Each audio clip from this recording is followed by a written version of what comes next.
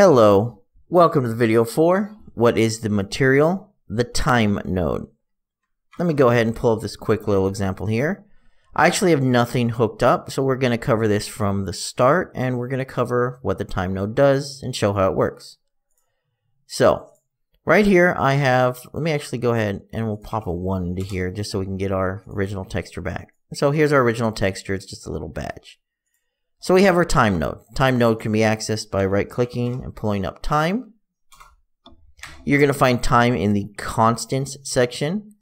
Basically, time is going to represent the passage of time and it is constantly being updated at all times. So like right now, for example, this could be 200, it could be a million, it could be whatever value is currently set up as the time. When you start the game, it's going to be roughly based on the game time itself. So we'll start at zero and move up.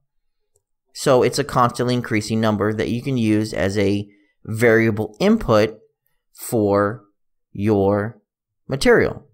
So that is one of the keys there. So time can often be used with, for example, a sine or a cosine node and gives you kind of like a waving effect. But to show how time itself actually works, we're going to make it where it's a 0 to 1 value, and I'll show you the basics. So for time itself, we have no input, but we have an output. We have two properties, ignore pause and period. Ignore pause, basically, if you call a pause on the game engine, it's going to pause time, it's going to pause physics and things like that. If you have ignore pause checked, it's basically going to continue advancing time for this node regardless of the game being paused.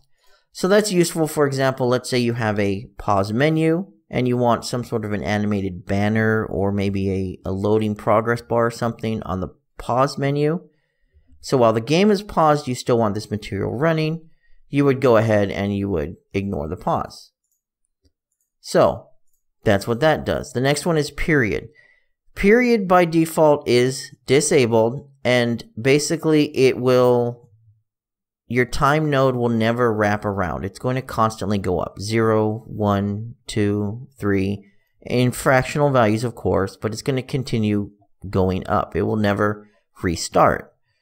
If you use the period, basically this is the period at which time wraps around. So, for example, I have it set to 5 here. That means it's going to count from 0 to 5. Once I hit 5, it's going to reset back to 0, and it's going to count back to 5, reset to 0, and it will continue infinitely. So it gives you a way to hard cap the value that time outputs. By default, it is not enabled. So for example, we are going to cap, put this at 1, and we're going to show you how this works. I'm going to use the multiply node, and I'm going to multiply the output of time into our multiply node and our result here is this texture sample here. Now, keep in mind, multiply basically will multiply the value by the other value. So if my value of time is 0, which is black, multiplied by my texture here, we're going to get an all black texture. So that's why you're seeing this texture here, pulse. Basically, it's starting at 0, going up to 1 every second, going back to 0, then going back up to 1 every second. So you're going to get this black to start with, and then going up to white, which is going to give us our actual texture's appearance. So that's an example of how period works and also how the time output works. If I was to uncheck this, we're going to see a dramatic difference. We're going to see nothing but white because this value in time might be a thousand right now and a thousand times a texture is basically going to give you a thousand times white and it's going to completely blow out because I have it set to emissive. If I was to put this into base color, for example, and let it run, we're just going to see a solid white because it's completely blowing out. So let's put this back to emissive for my example, and let's show you period wrapped up to something like 5, so it's a little bit more clear. It's going to start at 0, which is black, and then it's going to slowly multiply. So let's go with 0, 1, 2, 3, four, five, and then back to zero. Obviously, my counting isn't correct. But as you notice, it's the white parts are starting to glow. These black parts are starting to become gray because we're multiplying black by a 2 or 3, which is raising your black value.